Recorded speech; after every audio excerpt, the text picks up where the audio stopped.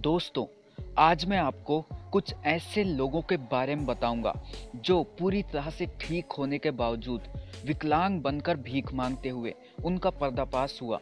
तो चलिए वीडियो को स्टार्ट करते हैं। इस वीडियो में आपको एक शख्स दिख रहा होगा, जिसके गोद में एक बच्चा भी है। बच्चे के हाथ में एक पट्टी बंधी हुई है भिखारी इस चोट को दिखाकर भीख मांग रहा था। तभी कुछ लोगों ने इसके चलाकी को पकड़ लिया। उसके बाद जो हुआ उसे आप खुद ही देख सकते हैं। है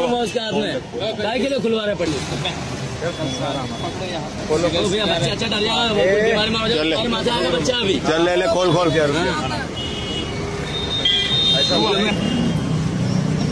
ये धंधा करके बैठे हो क्या? खोल खोल खोल काम होना तो मैं मैं भी- हम दिला दूँ तेरे को काम काम होना तेरे को? चार हज़ार रुपये से रखो इसको चलो। हाँ। चार हज़ार देते हैं। आगे क्या है तेरे को? देखो। किधर जा रहा रे? नंबर टू यह चाइना का एक भिखारी है। यदि आप इसे देखोगे तो आपको इस पर काफ़ी दया आएगी। दूर से ऐसा लगता है कि इसके पास दोनों पैर नहीं हैं, जिसकी वजह से इसे लकड़ी से बने गाड़ी से रेंगते जाना पड़ रहा है। कोई भी इसे इस हालत में देखकर पैसे दे देगा।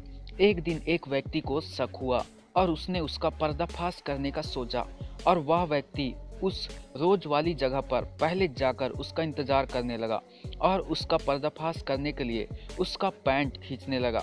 उसके पैंट को खींचने के बाद जो लोगों ने देखा तो देखते ही रह गए।